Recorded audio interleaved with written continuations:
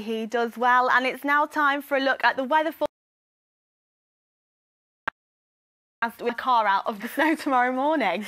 I hope for your sake there is no digging involved tomorrow morning. That is not what we need to start the day.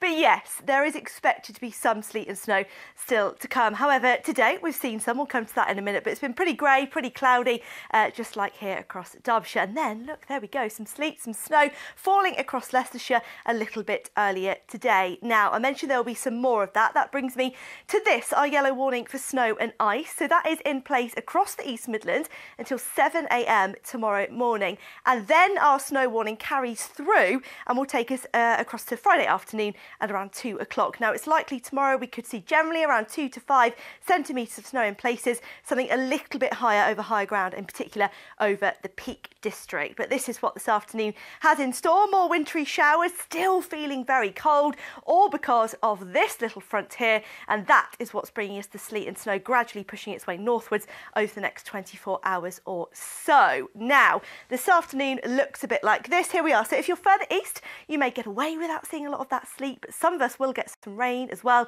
A mixture of sleet, snow and rain overnight once again before it clears away into the early hours.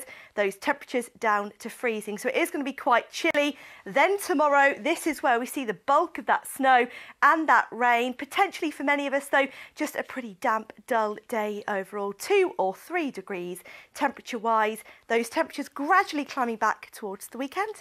Well, it's going to be pretty cold, isn't it? Thank you, Jill. Well, that's all from the lunchtime team, and we'll be back with East Midlands today at 6.30. In the meantime, have a lovely afternoon, whatever you're doing. Bye-bye.